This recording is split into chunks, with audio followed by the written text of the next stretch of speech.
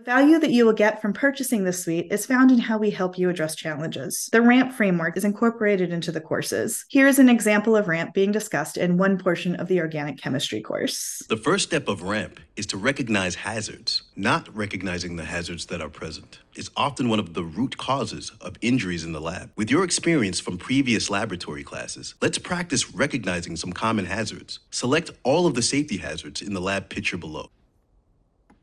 While the student on the right does have her splash goggles, lab coat, and gloves, she is not using her PPE correctly. Splash goggles can only protect her eyes if she is wearing them over her eyes. Her lab coat can protect her from spills and splashes more effectively when it is buttoned closed. Gloves can only protect her from hazards if she is not using them.